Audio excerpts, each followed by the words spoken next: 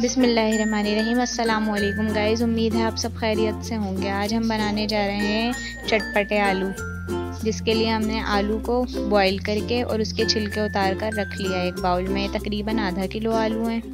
अब इसमें जो भी मसाले डलेंगे, वो एक जगह दिखा देती हूँ मैं आपको। सबसे पहले हमने लिया है यहाँ पर इमली का पल्प। एक प्याले के करीब, एक छोटी प्याली के करीब लिए।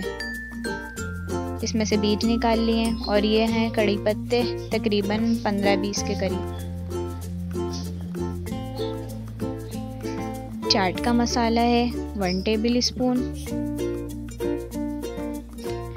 पिसा ज़ीरा है, भून कर पीस लिया था ज़ीरा वन टेबल स्पून भुना कुटा धनिया है वन टेबल स्पून काली मिर्च है वन टीस्पून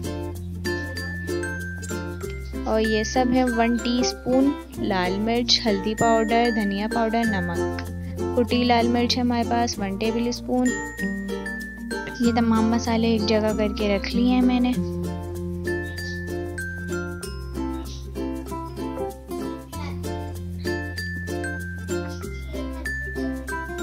अब मुझे सबसे पहले एक पतीली लेनी है और उसमें तेल गरम करूँगी।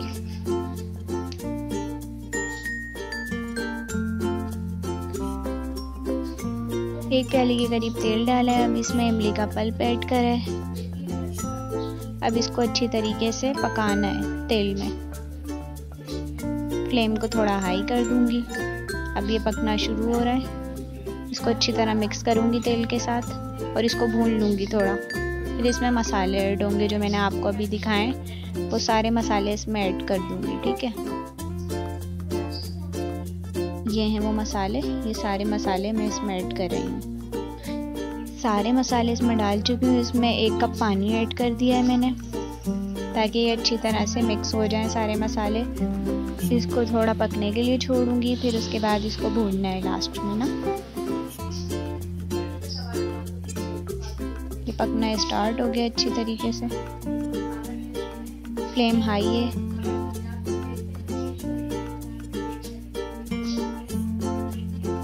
भूनती रहूँगी साथ साथ चम्मच चलाते रहना है।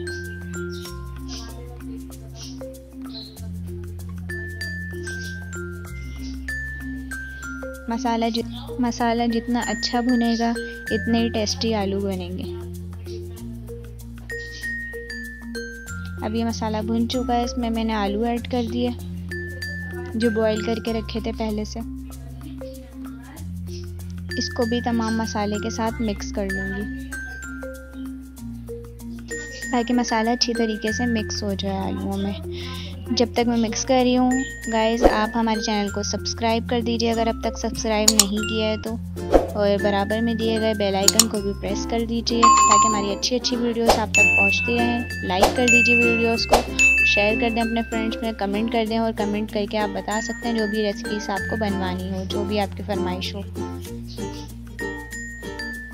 इसको अच्छी तरह से मिक्स कर लिया है आलूओं को तमाम मसाले के साथ। अब इसको ढककर थोड़ी देर तक पकाऊँगी।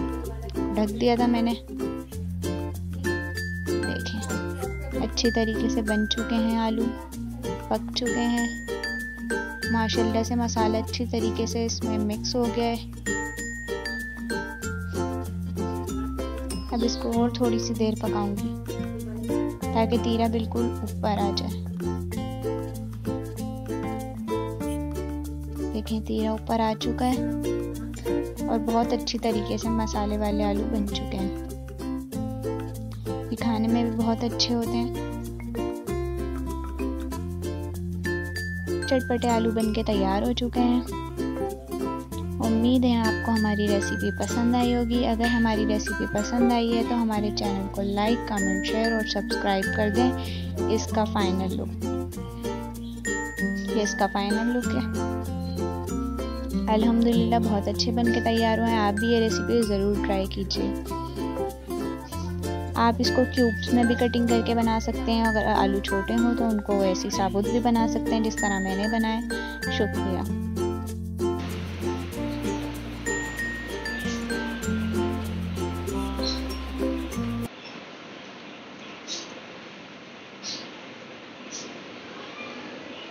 भाई, वहाँ काशान जी वहाँ खट्टे आलू बहुत मज़ेदार बनाए, चटपटे बने।